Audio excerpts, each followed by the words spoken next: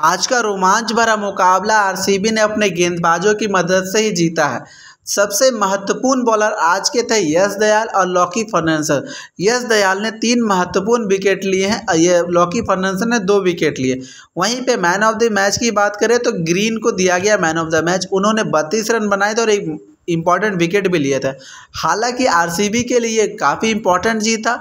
बल्लेबाजी से अहम भूमिका निभाए थे रजत पाटीदार और विल जैक जिन्होंने रजत पाटीदार ने क्या बनाए थे? फिफ्टी टू रन बनाए थे, मात्र इकतीस गेंद पे विल जैक ने इकतालीस रन बनाए। इसी जीत के साथ आरसीबी क्वालिफाई करने की रेस में अभी बरकरार है।